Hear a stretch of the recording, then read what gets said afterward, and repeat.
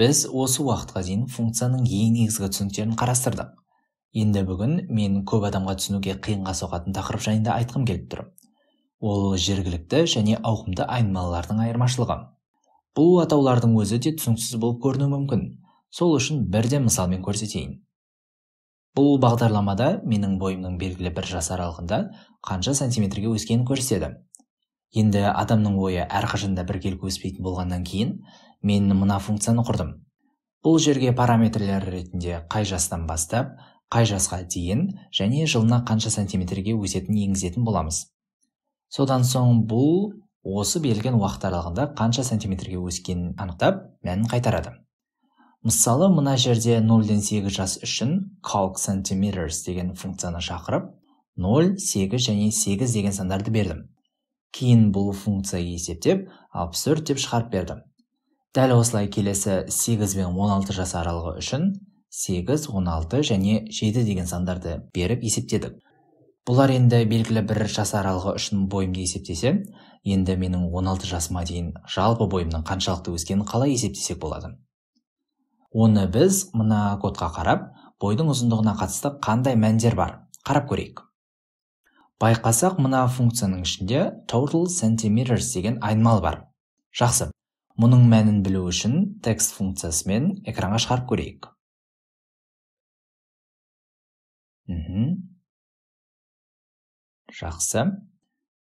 Бірақ біз қатемізді көрсететін хабарлама алдық.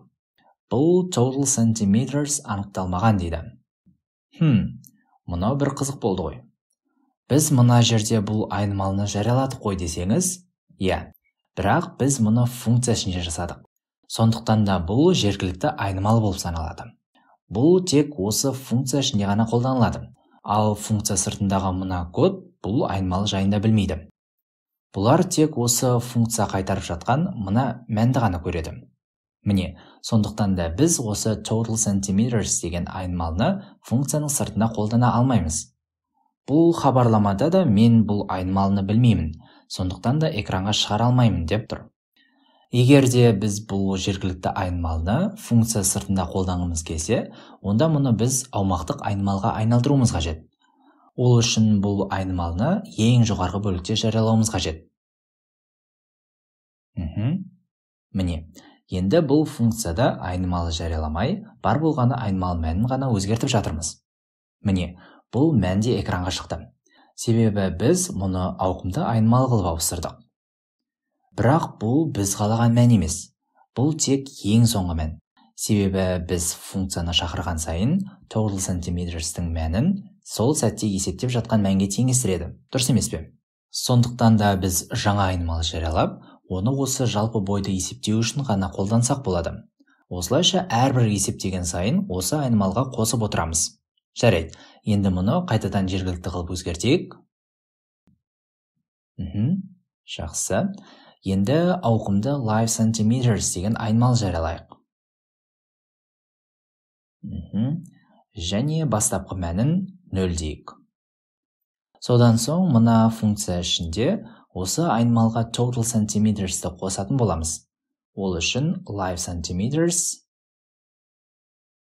қосу тең. Total centimeters дейік жақсы. Міне осылайша әрбір есептеу жүргізген сайын біз мына ауқымды айнымалға қосып отыратын боламыз. Содан соң ең соңында осы live centimetersті шығаратын боламыз. Керемет. Енді бойым өте кішкентай болып қалды иә. Өйткені біз ең басында мына жерге нөл дедік. Мұны мысалға елу дейік. О міне бойымның ұзындығы енді дұрыс шықты. Жарайды енді не жасағанымызға шолу жасайық.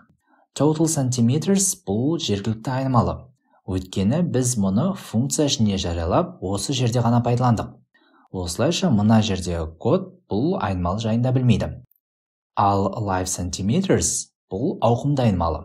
Себебі біз мұны функция сыртында ең төбесінде жарияладық.